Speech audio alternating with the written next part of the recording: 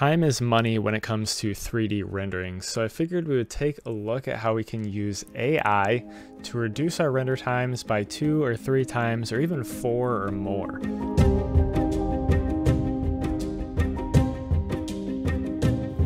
So we're going to be using Topaz Labs Video AI for this. Now, full disclosure, I did apply for an affiliate link, which is available in the description, but they did not give me any sort of discount or provide me with a license. It was, I just found this, stumbled across this program, and found it to be extremely useful, and I figured I would be using it quite a bit here in the future, so I figured we'd take a look at how we can go about using this. So let's go ahead and take a look at how we can use this. If you do want to try this program, by the way, it is free to try. It is watermarked to start out with, but you can get a license and start exporting all your footage. Uh, in the upscale, there are all the different things that you can do with this program and enjoy the benefits of it. So let's just go ahead and bring over some renders here. So these few renders are just some things that I've rendered out. We're just going to drag them into our workspace here. Drag that back off screen here. And once you've dragged them into the software, you have them appearing here in this little corner. And then we have a few things. Let's go ahead and just start off with selecting our clip. So uh, this is a few 480p renders. So these two are rendered in 480p and then I've got a 720p and then my 1080p that I rendered out. This is native, not upscaled. None of these are upscaled yet. So let's take a look at this uh, let's do this one, this 480p render. So with this 480p selected, we do have a bunch of presets over here. So if I click on this, we have a bunch of different things that we can do. I'm just gonna go ahead and select this upscale to 4K. We'll take a look at some of these other ones probably in a different video, but let's go ahead and just mess with the presets for now. So I'm gonna go ahead and select crop to fill and we're going to leave it at 24 FPS. We can convert to other frame rates, which is super cool and super useful and we're going to not up, uh, upscale it to 4K. We want to just go to regular full HD, so 1920 by 1080. 4K from 480p is stretching a little bit too far, but 1080p should be just fine. So brings up some other settings down here. We have different types of videos. We have also different algorithms that we can use. We'll just leave this on Proteus right now. It is a pretty decent algorithm. There is this Gaia, which is basically just upscale, and we can actually select computer generated as the input type. So that's great for CG, but let's go ahead and switch it back over to this Proteus. This will also just do a little bit of fine tune and enhance, as it says here to the video, so we'll change your footage just a little bit, but that's fine for the moment. Now I'm going to go ahead and click this preview button. That's going to start the upscale process. So this will take a little bit of time, not too too much time here. I do have a 3090, so this will go pretty decently quick. Uh, it's a pretty beefy card here, so should work pretty fast, but you can see right here we have about 9 frames per second being generated. So not too bad there. We'll give this just a second to generate and you can play around with all these different settings. There's all sorts of different things that you can do in here. You can slow the footage down. Like I said, you can convert it to different frame rates. Can, you can upscale it, do all sorts of different things. But let's take a look here. Hopefully this comes across pretty well. I will put these available on Patreon, the, all of these renders that I've included in this uh, folder not just the ones that we're taking a look at, but a bunch of my recent renders so that you can take a look at the upscaled ones as well as the the raw renders to kind of compare them as you will. And if you want to upscale them yourself and play around with them, you can do that. It will be available on Patreon on the, the lowest here. But let's go ahead and click play here and let's see what happens. Actually, let's zoom out here just a little bit. So you can see 480p on the left and then our full 1080p on the right. I'll go ahead and click play you can see that it starts to play here and just by default here, it looks pretty decent. So not a whole lot of difference that you're going to see from a zoomed out view. Let's go ahead and move towards some of these later frames.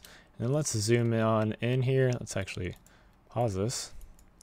Move to some of these later frames and let's go ahead and zoom on in. And in these reflections, so this, I chose this scene specifically because this is a somewhat difficult scene to render, or at least process intensive, because there is glass going on with a bunch of reflections. Glass is notoriously uh, cost ineffective to, to render.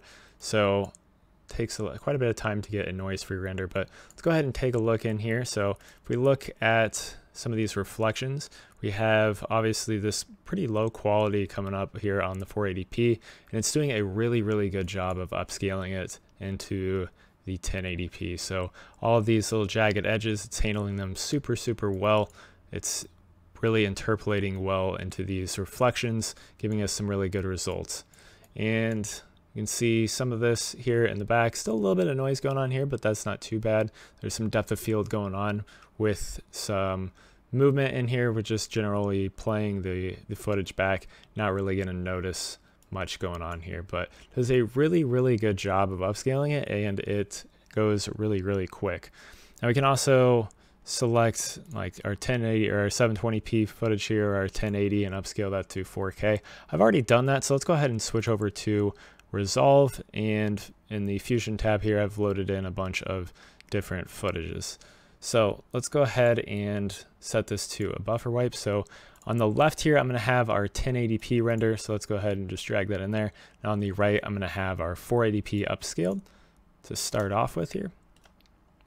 And maybe let's go forward a few frames here. And let's go ahead and just drag this over here because this is where things are going to be kind of most noticeable. Let's give us a little bit more room to work with here as well. So we have an AB wipe here. So as I drag this across, it's going to switch between the two. You can see, like I said, 1080 on the left, the 480p upscaled on the right here. And as I drag between the two, you can see that we lose some detail in here. We lose some of those reflections.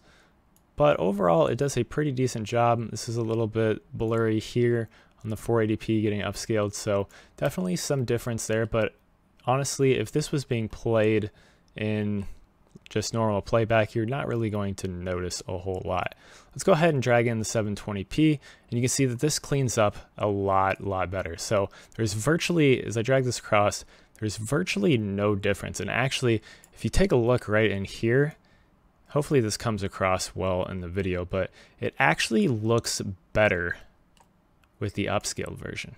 So it's clear in the upscale version. This is upscaled to 1080p. So 720p being upscaled to 1080p. It looks better in some of these reflections. We do lose the very, very fine, very small reflections. But again, that's not something that you're going to notice when this is being played back. And just for a reference, this 1080p render took about 15 hours to render out the full the full render. And the 720p render took about half that and we've upscaled it to 1080p in like a minute. So about half the rendering time in order to get the same quality of results in my opinion. Let's go ahead and move into some of these other renders here. So this is 720p upscaled to 4K. We'll, we'll put that on the left and then on the right, we'll put the 1080p upscaled to 4K. Let's take a look at the differences between these two. And again, I'm going to focus here on the reflections because that's kind of where you're going to notice most of the difference here. So as I go between the two, again, we lose, like I said, the 1080p on the left, 720 on the right. We lose these very, very fine details. If I zoom way in, see we lose these very, very fine details in these reflections. But overall, this looks very, very good. There's not a big difference going on between any of the footage. So as I drag across, really you're not going to notice a difference unless you're really, really zoomed in. And like I said, in motion, you're not going to notice it at all. Let's go ahead and switch to a different render. So this is going to be on the left, 1080p. On the right, this is going to be our upscaled uh, 720p to 1080. We'll go back in our frame range here and make sure that we're getting same thing. Looks like these are off for some reason. But overall, kind of where you're going to notice the difference in these two is not going to be in the motion of the ball. The motion of the ball is pretty much the same. Looks like these were different frame rates for whatever reason.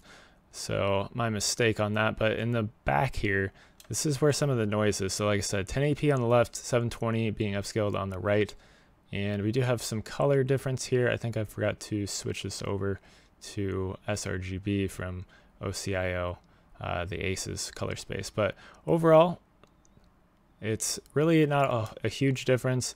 Um, actually, let's go ahead and just skip this one since I did kind of forget to switch that one over. But this is 1080p to 4K on the left and 720p to 4K on the right. Again, I guess I did the same thing on this one. But again, we're not really going to notice a big difference between the two here. Let's go ahead and make sure we're getting the same, same sort of look. Looks like, again, frame rates are off, but if I zoom way in here, you can see that, again, there's not a whole lot of difference going on in any of the background back here. So a little bit of di difference in the color. That's all right. If I go ahead and just move forward, maybe just some of this motion in the door. Looks like, for whatever reason, the frame rate is not matching. I guess my mistake on on that. But let's switch over to this 1080p, the smoke simulation, and let's see, this is 1080p scaled up to 4K. Actually, we'll head, we'll move this all the way over if I can get it to hold. So this is an animation that I did with a smoke simulation. So if I just kind of play through here, you can see we got this nice smoke moving across this object revealing our object here. So you're thinking probably that this is not going to work very well with the upscale. It's going to lose a lot of the detail and the smoke. Let's go ahead and take a look and see. So let's actually just reveal the whole thing. If we look in here in the detail and the smoke, does a very, very good job of keeping this detail and the smoke. And as I move through here into this bigger section, it retains all that detail from the upscale into 4K from 1080p. So it does a very, very good job of interpolating the frames. Like I said, it's going to kind of work like a normal upscale would work, uh, just a little bit better job, but with the AI. But the upscaling, if you're going from too low frames or too low resolution, I mean, to a too high of a resolution. So 480p to 4K is probably going to be pushing it too far, but you can, in my opinion, you can get away with 720p being upscaled all the way up to 4K and have it look phenomenal. Let's go ahead and move on to this last example here. So in this last example, oops, let's bring this back. We'll put, this is a 1080p on the left and the upscaled to 4K on the right. So big thing to notice here, if I zoom in here, hopefully find some examples of it. I guess it's kind of kind of hard to tell, but this looks, as you play through it, it's kind of aliased quite a bit in certain areas.